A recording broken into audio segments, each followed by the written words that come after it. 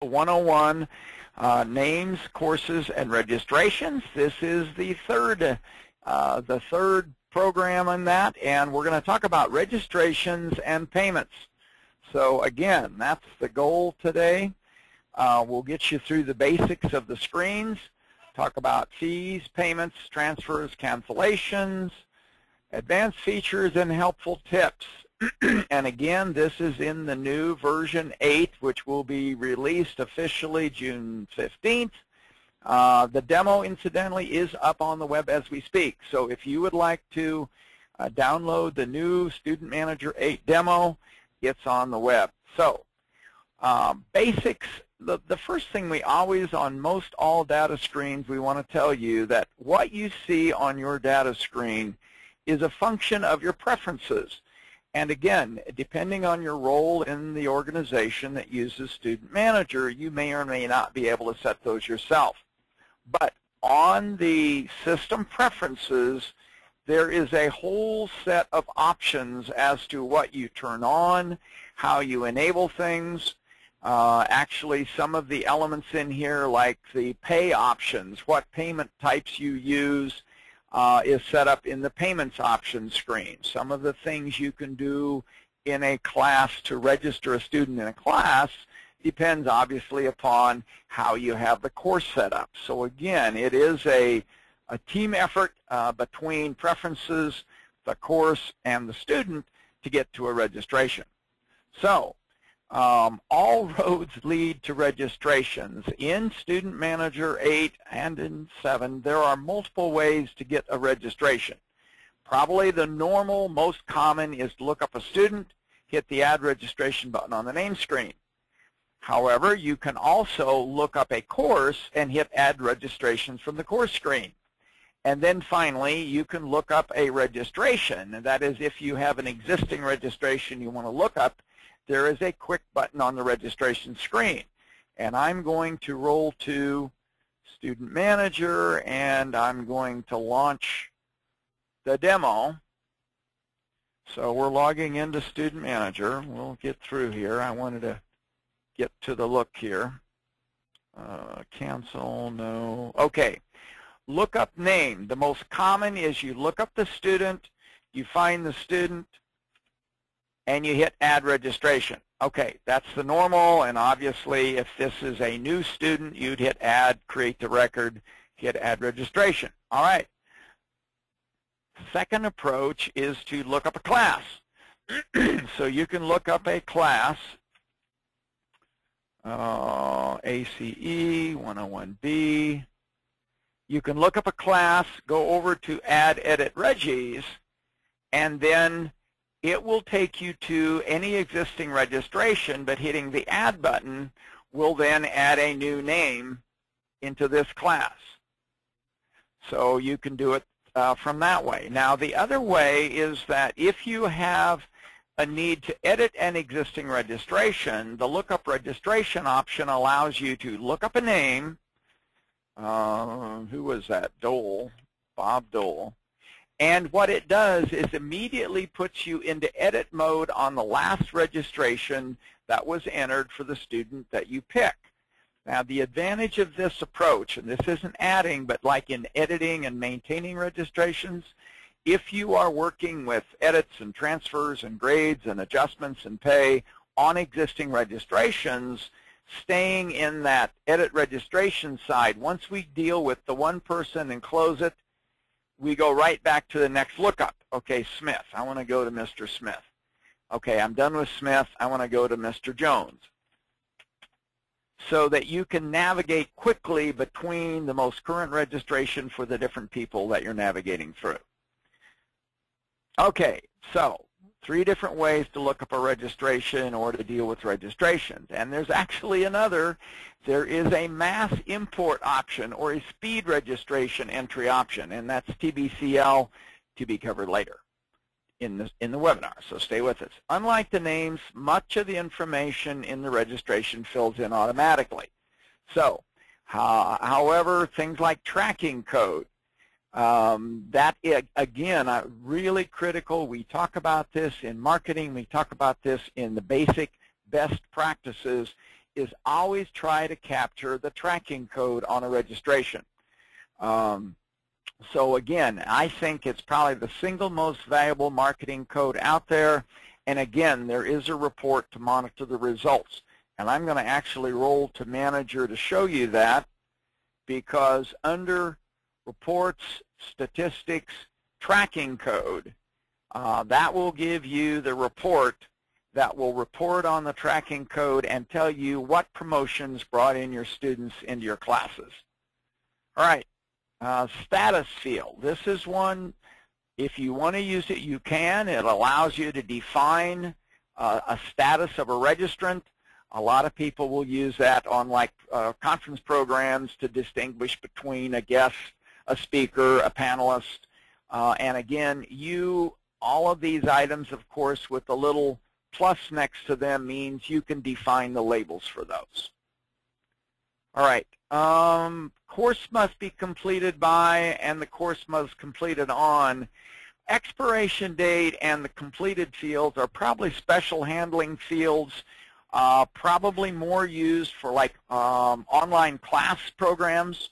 So probably a dance class wouldn't be necessarily worried about. But if you had a an online class and that it was open for X amount of days and you want to record when did the student complete this online class, you've got a couple of date fields to work with that. Again, that's part of the preferences. If you have those turned off, you won't be seeing those on your screen. CEUs, hours, and credits. Again, um, ACEware uses a salvation by grace approach in that by registering in the class, you automatically assign the full hours, credits, CEUs to that registration. What you do is remove those CEUs and hours from the student's credits if they don't make the grade. And of course, you can do that by editing the registration itself. But alternatively, and this is actually my recommendation on a class, is that what you do is you look up the class, and then from the student list on the class, you can bring up a browse window. Now note up at the top left, you see the student's name and you see the note and uh, the, the, the email.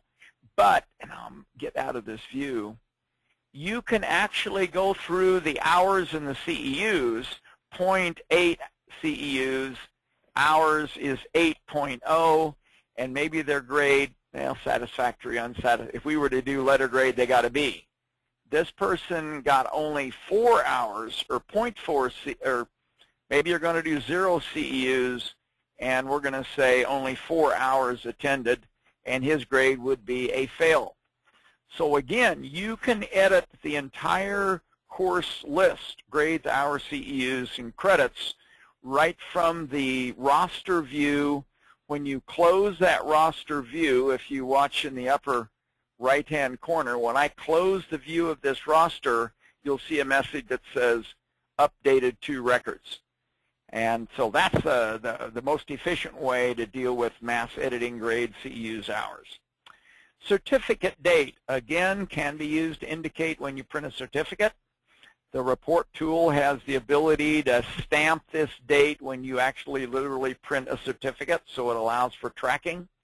Middle of the registration screen. I hope people use these, but they basically are special tools that allow you to get a quick reference to other things that are going on in a registration. And I haven't honestly tried this in a while with 8, and uh, we're still working on some of the new release features. So let's give that a shot. Matthew, you ready? So we're going to go to a registration and say uh, pay info. The pay info should show you all of the payments tied to this one registration. So we can see that there was a billing and then there was a check payment. You could say, well, I want to go back to the class. I want to go back to the course that's the ACEware conference and maybe look up some information. So we click on this and we're able to go clear back to the course, look at the description, look at all the fees, look at the instructor detail. Uh, ditto, again, I can actually go to the name. If I said, well, I'm dealing with Charles and he says, I moved. I'm no longer on Erickson Street. I am now on Dyer Road, or I'm no longer on Dyer. I'm on Tuttle Creek Boulevard, 10386 T-U-T-C-R-B-L-V-D. Uh, you can do the save on that, and again, stay right from the registration screen. So uh, roster, again, if you're dealing with somebody on the phone and they say, has anybody else from ACEware registered for this class? Uh, you can hit on roster, show students from this firm, and we'll say there are no other registrations on there. And so, Matthew, we've got a we've got a glitch on that one. but that uh, show other students in the class allows you to, let me get back to Havlicek again, allows you to see other students in that class. And it also offers you uh, a chance to see only those people from the particular firm uh, that Mr. Havlicek might be with. Okay, so we're, we're kind of help Matthew clean up a few things. This is still the beta version of our 8.0. All right, back to the to the slideshow roster. Oh, see also. The see also is your opportunity to do cross-selling. Uh, when you're setting up courses, and I think we covered that in the course side, there is the ability to set up on a class. Now, I doubt that we have any see also records, no related courses available. But when you're on a course, in the catalog information area under prerequisites, you could put in links from this class, ACE 300, the ACEware conference, to any other related courses. So if you had a beginning sculpture class that you might also be doing a tour of a museum that has a large sculpture display, you could say related class tour of the Acme Gallery. And on the tour of the Acme Gallery, you'd put a related course beginning sculpture. So again, that would allow you to cross-sell, uh, try to get the students, say, would you also like to take the tour of the gallery, which also covers sculpture? So, um, reg code, miscellaneous code are fields that you can modify. Uh, you can validate both. The who paid, paid by. Uh, this is handled automatically by the system. If the payer name is the same as a student, it automatically puts a P there. If the payer name is the firm, which is the same firm as the students, it puts in an F. And if it's neither of the two, it'll put in O for other. Uh, you can edit that, but if you're trying to analyze in a business program, are most of my participants paying for these classes themselves uh, through their own money, checkbook, credit card, or are they being paid by a firm? Uh, or they're paid by third party. Maybe you're billing these out to a workforce agency or a employment training agency. Uh, this is a way for you to help track that. I'm kind of, I don't know if anybody's paying attention to that. I'm going to wake people up. I haven't done this yet. Raise your hand if you do reports based on that paid by. Anybody paying attention to that? Raise your hand if you're running reports on like how many registrations are paid by student versus paid by, uh, we got a couple. All right. All right, got a, got two, three out there. All right, but again, if you're trying to analyze your your mix of uh, how the payments are coming in on your program, and this would be probably primarily for career center, vocational, technical, professional development type programs, I think that is a tool that would be very very handy. Okay, uh, main fee to be charged. Uh, this is again as part of the registration process. Fee order determines the order. Uh, there's an option called fee preference, which we'll talk about at the end, uh, to find a matching fee, adding additional charges. One of the things I want to highlight again, because I don't think people remember that sometimes, is that mo most of the time when you are adding a fee adjustment description, you can pick from a standard item. It's an additional charge. It's a full refund, partial, uh, it's a bad check fee. Uh, there's some other descriptor that you want to put in. But if there's a reason for you to do a one-time entry um, of a of an adjustment, the Alt F4 allows you to do that, where you can type in whatever the heck you want uh, in the in the adjustment. Adding a registration note, of course, uh, being able to note the date the confirmation was sent, again, that uh, can be handled automatically by adding a function to your receipt. Uh, again, that's, that's something that's done through the receipt or the report function. Uh, one of the one of the things, if you to remind you, or if you haven't figured this out yet, uh, there are a number of special functions in AceWare's tool set that you can add to a particular report that at the end of the report, it will actually update data in a record. So the idea that when you print a particular receipt, it would stamp a date in the confirmed field on the registration. All right, Lori, how are you doing? I've been just going a mile a minute. Uh, Matthew, anything that you want me to back up on? So far, so good. And again, we have Matthew Olson, our our chief wizard, who has made all these wonderful things online. So if you have a Matthew question for existing customers, shout it out, and Lori will get it off to him. All right. Is there anywhere on the course completion or on the course screen where you can fill in the course completion date that will automatically fill in on the registration side? Mm, I don't think, you mean like uh, the completed by field over here that we're looking at? Yes. I don't know, Matthew, whether that is on the view of the course or not. I am thinking not. Uh, student list, hours, date. Now, I suppose show me status. Well, I take that back. RG complete. Let's put in a date there, 01, 01, 14. Matthew may be that dang good. Let's close this. we did it. The answer is yes. So if you go to student list, go over to the RG complete, there it is. I put in 01114, and that uh, put it in. Matthew, can you rearrange these columns like you could in, um, will those stick? I don't remember, but I definitely can't take credit for the RG complete in there. Really? I thought I was going to give done. you the props for that. Uh, what no, I was showing, I wish. There you go.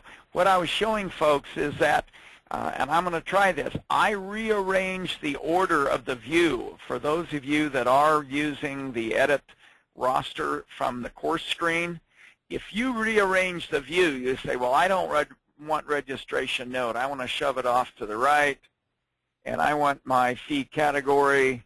I want email off to the right so that I just have seats, CEUs, complete date, I want T-shirt off to the right. I don't care.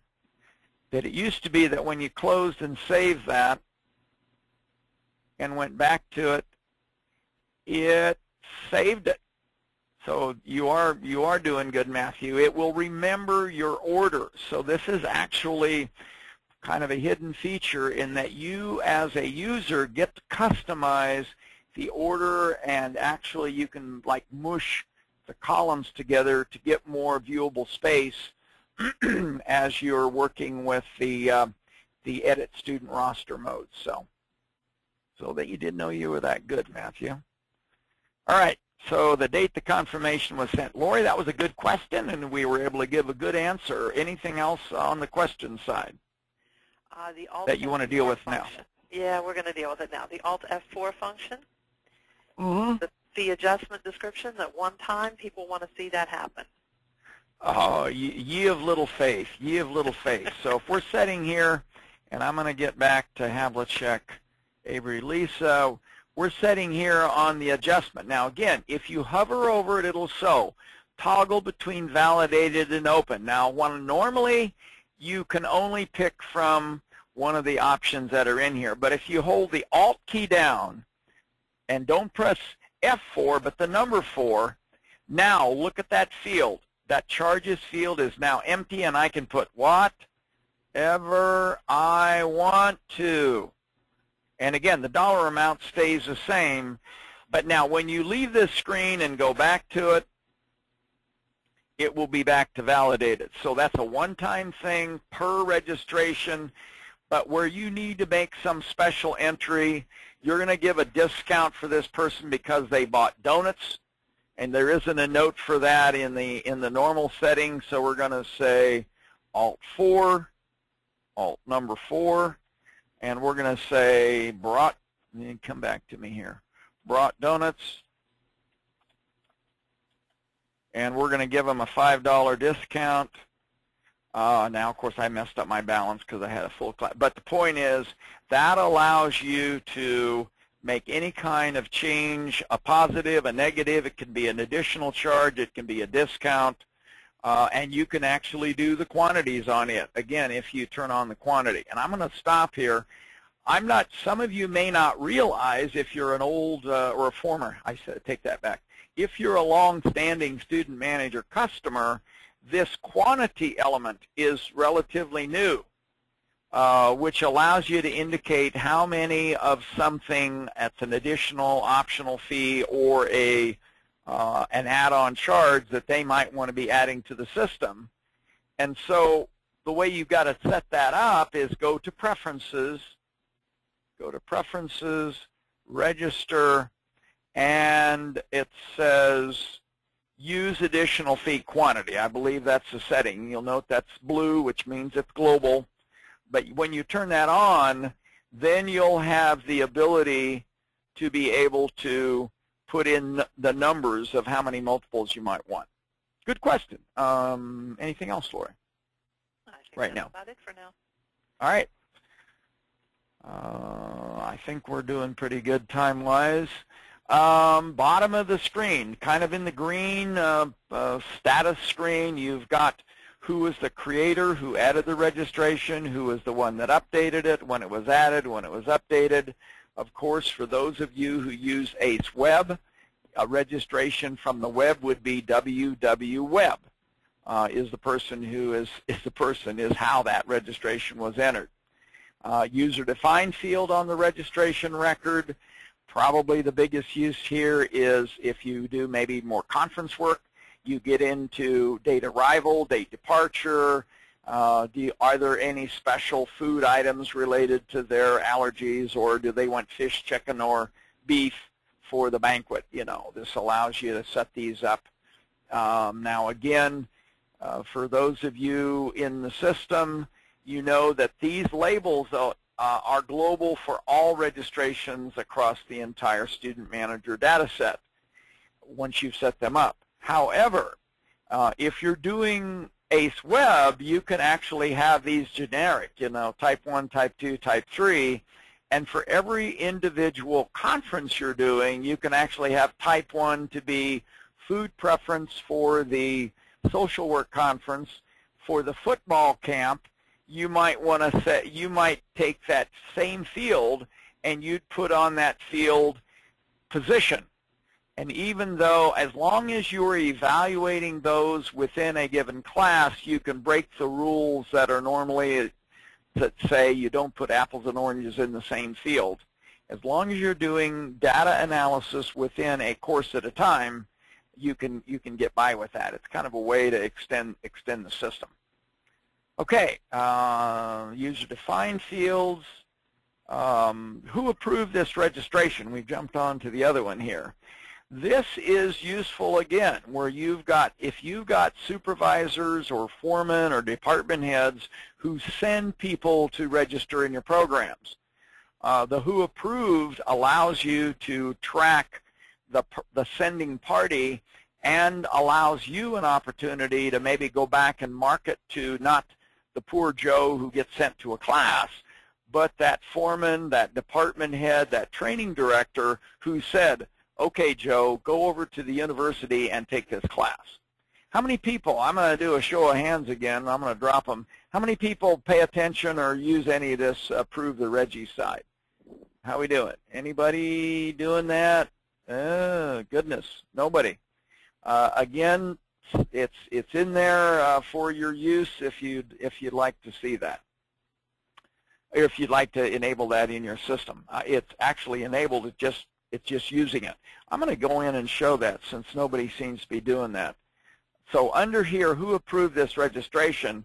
What you do is if I know that Jeff Brown was sent by uh, Bob Dole, uh, I'm going to look up Dole, O-L-E, there's Bob and then it'll say approved by Bob Dole. And there are reports in the system that you can actually generate then that would say, show me all of the registrations that Bob Dole uh, approved or that were that came in through his um, side and be able to then send a note, Bob, thank you for sending 30 people to our classes. Uh, would like to invite you to lunch, uh, take you to dinner, invite you to meet the president. You, it allows you an opportunity to go back and uh, try to get uh, some extra business with that particular group. All right, Lori, questions? Anything? We doing good? I think we're doing very well. All right. Fees and payments, getting the ducks in order. I love ducks. I love ducks. Okay. First thing first is assigning the proper fee on the registration screen. Now, I want to kind of, before we leave this kind of plain screen, there are two elements of the registration. First of all is your, uh, basically the charges. And your charges are going to represent the um, registration fee. You pick the registration fee level on this particular class. You would indicate the number of seats in the class. You would add any additional charges. You'd make any additional fee adjustments. And of course, when you make a fee adjustment, it'll float up into the additional charge area and it'll keep adding. There's literally no limit. Uh, so anyway, that part, the top part is the fee uh, charges then the total paid represents, of course, what they paid. How much they owe is the top one, total due, how much they paid, and then, of course, the balance. And the point is, you generally don't leave the registration screen until the charges are the way you want, and you don't leave the registration until they're paid or you bill them uh, for the amount. So that's basically the idea of the fee side. Uh, there's the Alt, Alt 4. We've, we've covered that already. Uh, after you've got the fees all set, then of course you go to the payments button. Takes you to the blank payment screen. One of the things to note is that we've tried to give you tried to give you some visuals here. Adding a payment so that when you're in an add mode, it shows adding payment. And of course, where you haven't picked a payment type by default, it says void, which means you've got to you've got to tell the system. And this is again, this is all from the back office work. Obviously, we're not talking about registrations coming in from AceWeb, the online payment component, which is handled through AceWeb. This is your staff access, the admin access to the registration screen. Indicate the payment type, uh, fill in the payment, select the payment method, put in the details of the payment. Um, one of the things, and we'll get back to that, before we leave the, the payment screen, there are several elements on the payment screen that uh, we're going to, I think we have time to cover, but that number one is paid by firm, paid by individual. Um, the default is that if you're making a payment and the person is connected to a firm, by default it'll put in the firm name there. If you've got a person who originally got into your system because their boss sent them to a class and now they're going to take a cooking class or personal interest class, when you go in to register them and go to pay, it may show the firm name here, in which case this little button that will say paid by individual hit that and it'll flip from Aceware Systems to Chuck Havlicek. The other thing you can do is actually find a third party. You can locate a third party firm to pay to indicate as who the payer. You can find a name in the database if there's again my buddy Clint is picking up the tabs or if you're doing multiple payments for if you're doing multiple registrations and the same payer is paying for all of these registrations, the clone pay detail remembers or keeps on a clipboard, if you would, the last payment detail that you saved in either editing or adding payments. So again, wanted to make sure people realize that these elements here really give you tremendous amount of flexibility in, in recording payment information. And then, of course, finally, you can actually put in the payer name a completely different person, address, agency uh, to whom that payment is recorded, whether it's a billing or whether it's actually collecting money. And then finally, under additional notes, uh, there is some supplemental data. Uh, there's a note field, and I'll get back to live in a second, Matthew.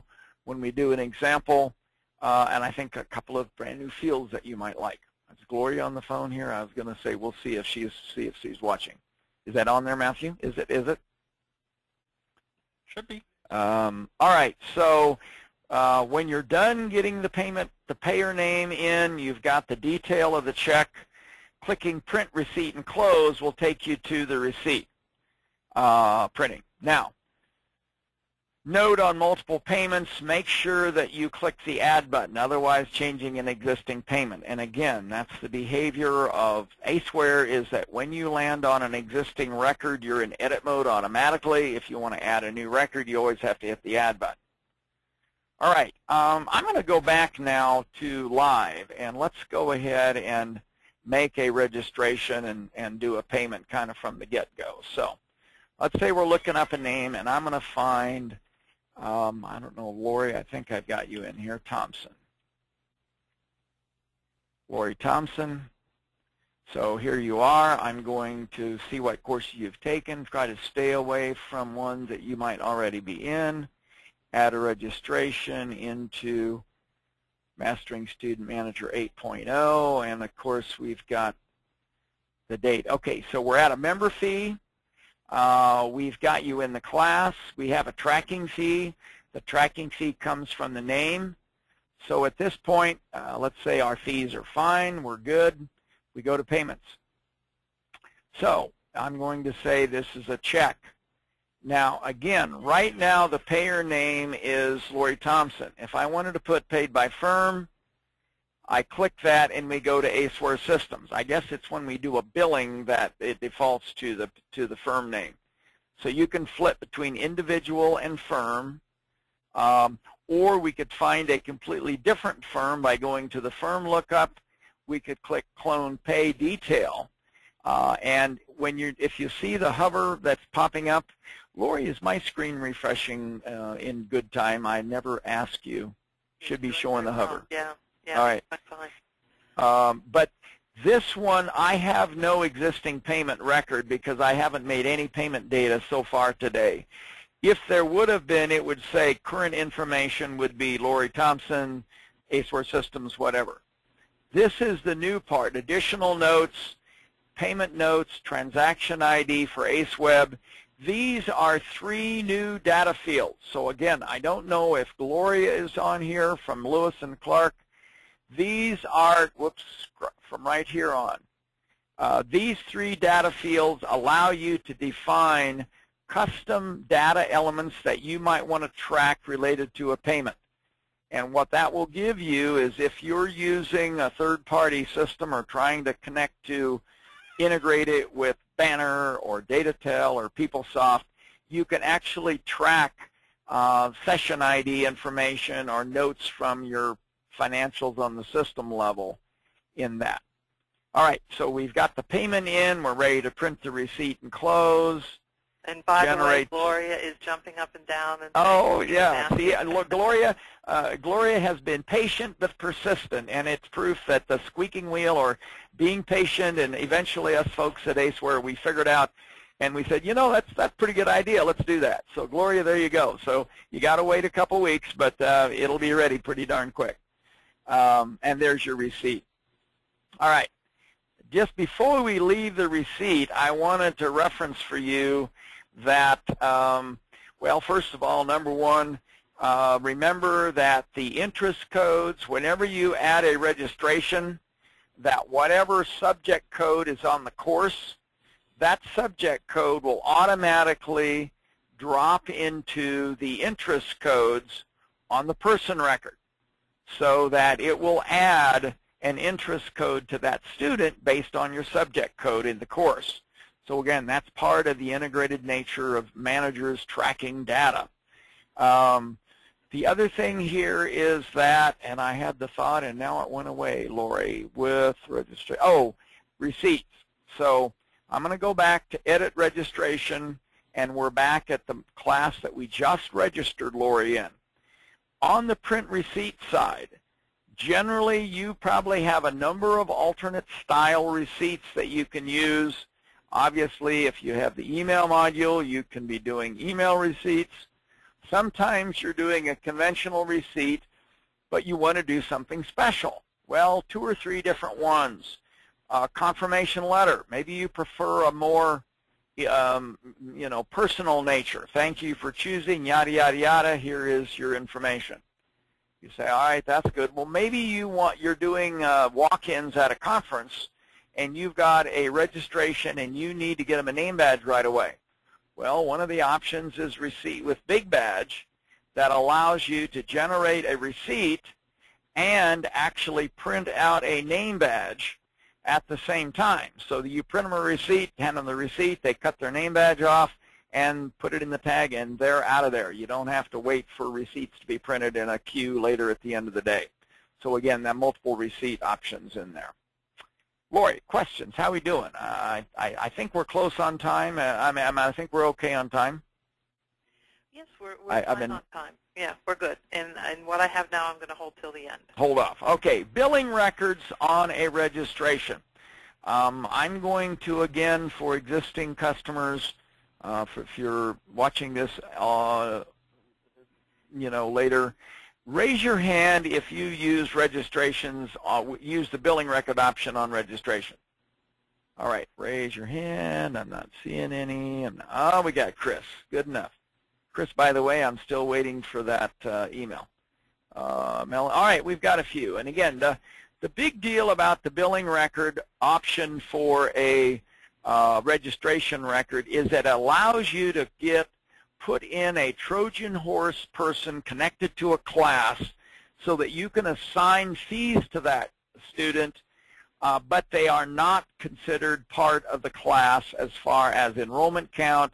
And if you're doing statistics, you're doing your reports to the regents about how many registrations you've got, it allows you to indicate a person in the database, run all the reports and all, but the point is he is marked, or she is marked as somebody who's getting the bill for this class, but has not registered for that class. So it's kind of, I don't know, a third gender or a, a ghost uh, registration. Trojan horse is probably the best terminology on it. And again, this is particularly useful if you do contract programs or in-house training programs where you might charge $4,000 for the class plus expenses and there's only one bill for that and everybody else, you just put the names into the system at zero cost so that you don't have to try to divide up however many people show up by a flat fee. So again, if you're doing contract programs with kind of fixed price approach, really check out the billing record piece if you're not already using that. Uh, payments. if you are doing a billing to a student in a class, you have the option to do installments. And again, I'm going to I'm going to raise hands. I'm just kind of curious. Raise your hand if you do billings and you offer people installment payments. If you would, anybody doing the billing plan? Chris, bless you. Uh, way to go, girl. Well, we got a few. All right. Let me kind of show you that because I think this is one, and again, I guess I should clarify, it probably is more valid for high dollar programs. But if you're doing a several hundred dollar or a, or a five digit, four digit, five digit program, uh, a big tour that might be several hundred dollars or a couple thousands of dollars, you can actually create a registration. Let's find a class. I don't know that I've got a big, big one here, Lori. I want to find a class. Financial management in the millennia. Nope. and we've got to get, okay, so we've got financial management. Let me get back in here and reset things. The beta nature, beta nature, what we're doing. I'm going to hit F6 a couple of times. Look up Smith add a registration for, and we'll just put extend student manager with ACE. Okay, it doesn't make any difference how many, we're going to, we have a registration. We could have whatever amount due. When you go to payments and you go to billing, if you have a, a case where you say, well, it would be useful for the student to be able to pay this amount in multiple installments, if you go to payment plan, it says how many installments you want to create and you can put 2 or 20. And what it'll do is divide up the amount of the bill into X number of equal amounts, and it'll it'll handle the missing penny, 67, 67, 66, and it'll put it out 30 days, 30 days, 30 days. Now, you can edit this. You say, well, I just want that to be the end of the month, so we're going to say the 30th, and we're going to say, is it 31 or 30? I forget. 30 days, that's September, April. 31 for July. And OK, close. and that will then generate th uh, three multiple payments for this particular student here. Uh, so that we'll have multiple payments for this student that then will be billed out in three different dates. Uh, Matthew, that may need a little bit of work, the, the billing plan. So again, uh, we're still dealing with the beta element. So that's why we got Matthew in here. All right, so that is the billing option, again, for large dollar, high dollar programs where a student is making those payments themselves. It does offer you some options to let them get you know, monthly payments uh, on the program. All right, the installment plan. Payment notes. Again, lots of options for you. Accept multiple payments. Uh, so if someone wants to pay part of the money by check, part of the money by credit card, and they haul out a wad of cash for the balance, you can do that.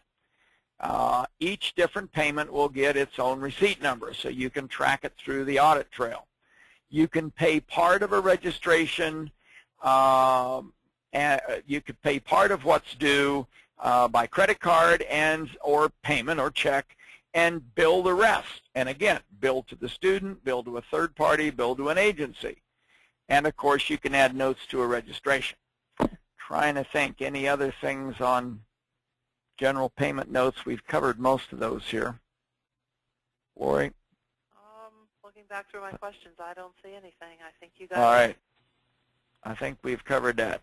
Changes to a registration. Again, in a perfect world, the student finds the class, they register for the class, they pay for the class, and that's good. Uh, it doesn't work that way. So you've got students that register and two minutes later call and say, oh, I forgot about yada yada, I need to cancel, I need to transfer. Well, you got options. Number one, you can cancel the registration and refund all or portion of the money based on your refund policy. Number two, you can cancel a registration and keep all of the money. Typically, that would be if somebody does not let you know they're not going to come and you know they, they, they don't show up at class uh, and afterwards they say a cancellation and you say, no, sorry, buddy, unless you let us know before the class, you know, uh, that's on you you can cancel the registration and rather than refunding to the student, you can refund the student's money to escrow. And again, escrow is a great tool that allows you to, to track money for students without having to go through the refund process. And then finally, you can transfer a registration to a different class or a different person. So let's kind of run through those. canceling a reg well here's another example here with no payments involved. Somebody's registering and then they said right away you haven't made a payment yet but they said I got to cancel. Well what you do all you have to do is manually click the cancel button put in a note in the fee adjustment description what you did and you negativize you negativize sorry about that. You put in a negative entry to back off the fee so the total due is zero, and at that point, you're done. You've, you've got it marked as uh, they were at one point registered but then canceled, uh, so that the goal is obviously on a canceled registration, if they don't owe you and you don't owe them, there should be a zero balance on that. Uh, refund wizard. Uh, if you're doing refunds, and again, um, let me show you where that's at in the system because in um, in doing registration, let's find a registration for Miss Lori here that has, and we'll go to Havlicek. I think I've got some registrations. Edit a registration. So that if I've got a registration and I need to make a refund to the student or the person says, I got to cancel, it's ahead of the class, uh, and so you go to payments, there is a tool called Refund Wizard. And when you click on that is where you get the set of tools that we were showing here. You have options, refund to the student, which would show as a negative payment going back to the student, refund to escrow, uh, and then you could choose how much you're refunding. Total current payment, so if there were multiple payments, maybe um, they paid part by check and part by a credit card and they want to refund the credit card payment and keep the check or vice versa, you can do that. Total paid minus the fixed amount, a fixed amount or percentage of the total. So it'll do the math for you uh, in terms of how much you're doing refunds. Uh, the wizard will also automatically cancel the registration, zero out hours credits. The one thing you do need to do is to indicate why is why is this registration being canceled, uh, or if it's full refund, partial, or you had to cancel the class, so that you put in a note in here as to why this is being canceled. And again, the descriptors for this come out of the codes area, and again, there is optional fees, main fees, and then registration fee adjustment uh, descriptors that we're looking at right here. All right, I want to kind of show you where that came from, uh, the reason why. The other thing you can do under the registration payment or under the payment screen is transfer payments. If you've got a case where somebody writes you a check and after they wrote the check, they figured out they wrote it for more than what was due on this class, you can actually transfer part of that receipt that you've recorded here to either escrow uh, or to a different registration. So again, there are options to be able to adjust money uh, if a payment has been made uh, on a particular class after the payment's recorded and you've got the receipt. All right, uh, escrow. Uh, again, I'm going to ask for a show of hands again. How many of you run escrow accounts or do escrow accounts uh, rather than allow a student to put money in escrow rather than doing a full refund every time all the time when they say I have to cancel a class. All right, Rita, we got a couple there. Anybody else? Lisa, all right, all right. Yeah, the escrow, again, if the big issue here is that you make sure this is okay with your business manager, your business office. But what it allows you to do is to give students credits. Think of it as a savings account for the student or a rainy day fund. I don't, it's, it's to your benefit. if you can avoid writing a check to a student for a class that they couldn't go to, and they've met the rules for how you, you do a refund, then especially if that student is one that says, well, I can't make this class, but I know I want to take another class, I'm just not sure what schedule will work. Uh, and you say, well, I can hold that money, that refund of yours in escrow and let you apply it to a future class. So again, the escrow has a lot of options there. The other thing about the escrow is that it, you might even have a different policy. If you say if, the, if you want a refund on a class that you are canceling and it's within two weeks, you pay a $20 penalty. But if you were to let us hold the money in escrow for you, we'll let you credit the full amount of your payment toward a future class. So your point is you get an opportunity to keep that money in circulation without giving it back to the student and depending on them to take the initiative to come back and take a class. So I always like the idea that I'd like to play the banker on that and especially if and we're not trying to mess up the student or to mess with the student, but if that's a student who is legitimately saying, yeah, I'd like to take another class, you say, let me help you out. I'll hold that money in escrow, and you just let me know when you want to use it. We'll apply it to your class. Lori, questions. I, I want to make sure that people are okay with the escrow. Anything going on with that? No questions about escrow. Okay, canceling a registration with an active billing. Again, when we have billings out there, uh, and incidentally, we do have a webinar on billing and invoicing. We're just not going to have time to cover it, obviously, in the five minutes left. Uh, this is a busy topic. Uh, but we talk about that.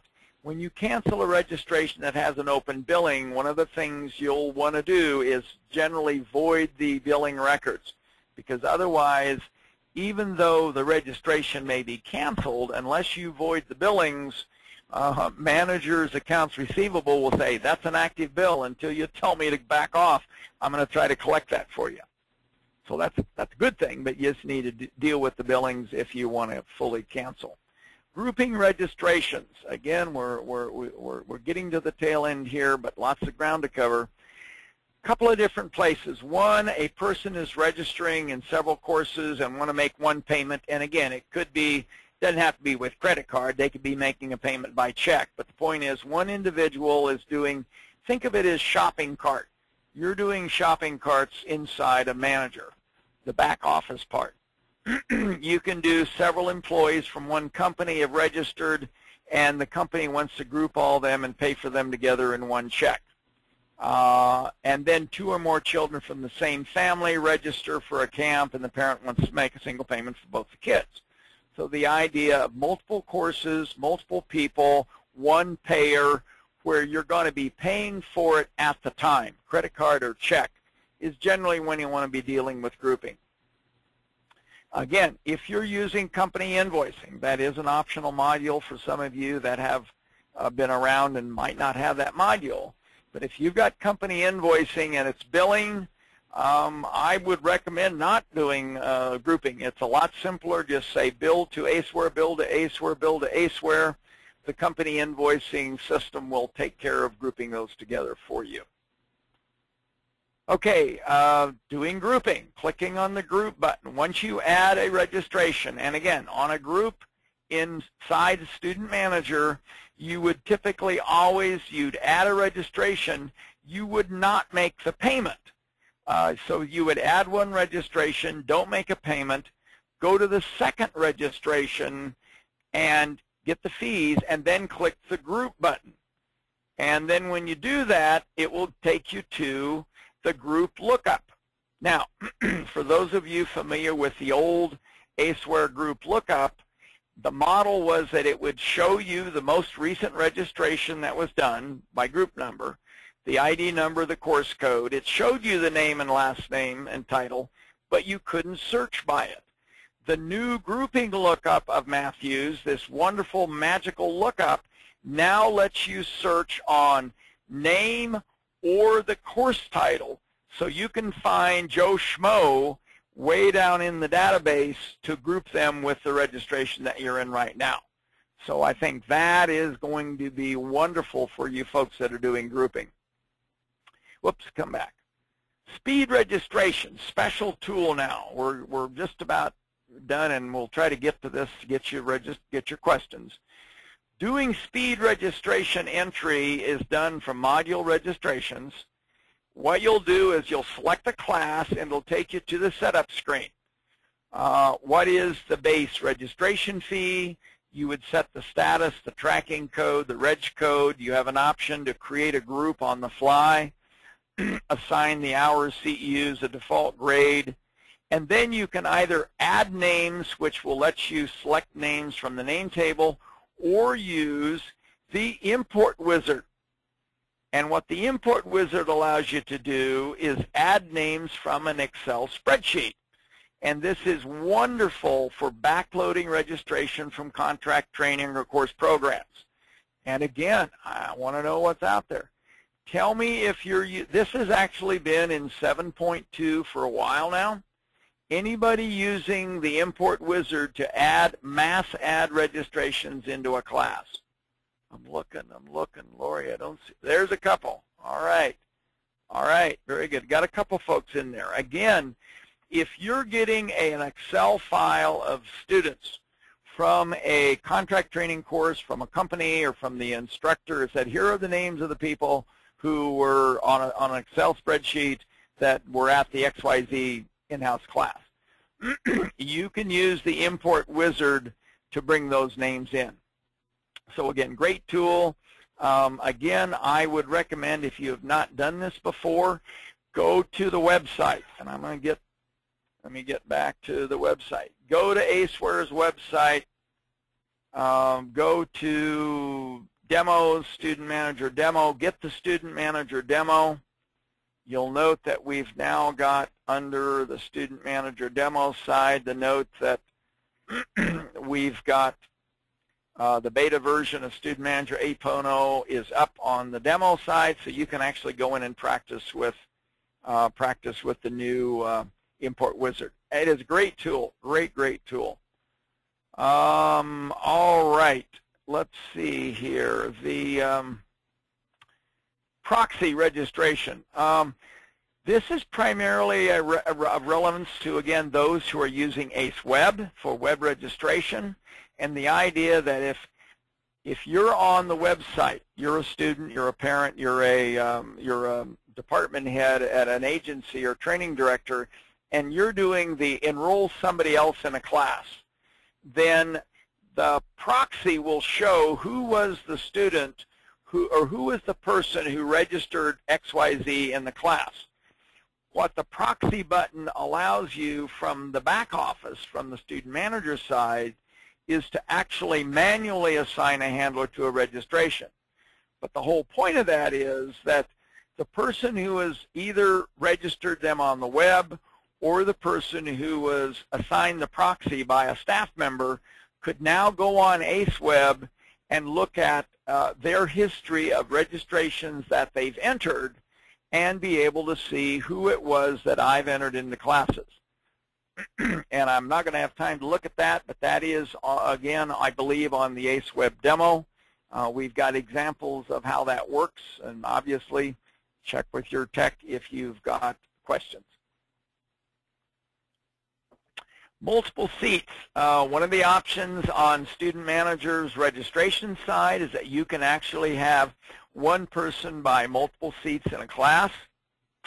Again, if you've got a company that it's a, it's a uh, limited enrollment class, they want to put three seats in this computer class, uh, but they don't know who the other two people are going to be uh, because they're hiring people right and left. So they can actually pre-buy multiple seats, hold them, and then you can assign those seats to the individuals once they've uh, called in their names. Ditto with optional fees. So uh, lunches or extra books or extra tickets to a concert, you can buy multiples of those. And we talked about preferences where that's turned on. The publish option.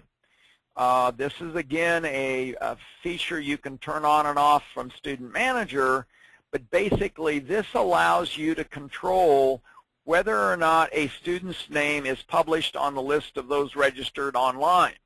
And again, if you're doing annual meetings, if you're doing fraternal groups where they're almost like reunions and Fred wants to know if his buddy Sam is going to come to the 2014 reunion conference event, uh, you can actually show on the web, uh, show, out, show me who is coming to the program. That, that's an option for you. Helpful tips. Uh, using the grade field, if you need a letter grade and a numeric field, use either grade for either letter or numeric, and then you can use one of the miscellaneous fields for the other. Uh, receipt number, uh, if you've receipted if you've receipted a payment and there's an error, what you can what you can do what you can do is rather than delete it. You want to delete it. You would change a payment type to void, which keeps a record of that receipt in the system uh, for auditing purposes. So again, that's generally best practice.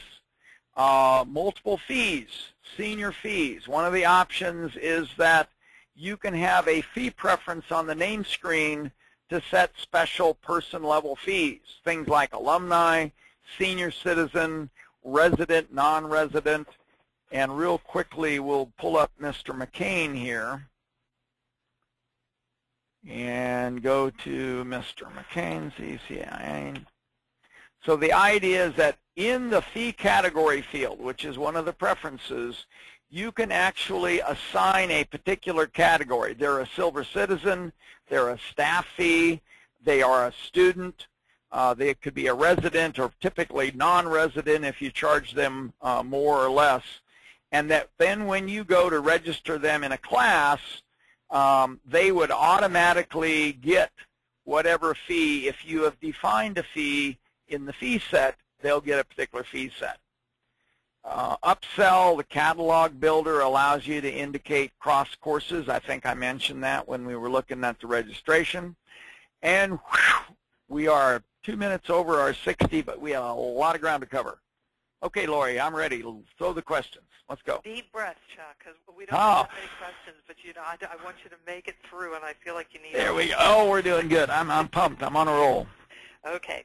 With the upgrade, will we lose customized queries and reports? Uh, no, no, you, you will not. And, uh, and again, reports come over, uh, queries come over. No problem there. Okay. Uh, if you want the person marked as a billing record to actually attend the class, you just don't use the billing correct, record, correct? Correct. If you, if the person who is getting the bill, now again, and back to the idea of the billing record, uh, if I wanted to add a registration into a class, if this person is going to be picking up the entire tab, and that might be a contract course of $4,000, but he's actually going to be in the class, you're fine. Just don't mark it as a billing record. His name will appear in the class, and what you'd have is his fee is $5,000, and he'd just show uh, his fee in the list of um, of the registrants. Yes, absolutely. That's that's that's that's that's exactly how you, how you do it. Okay. Chris says they'd like to be able to edit the refund to refund the student and not the payer. For example, when I, I, I, I, I, Chris, that's one of those notes you need to send me in an email so we can get it on the list for Matthew here. But yeah, the idea of refunding the student, by default, of course, the the goal is typically you're going to refund to the to the payer since that's who made the payment.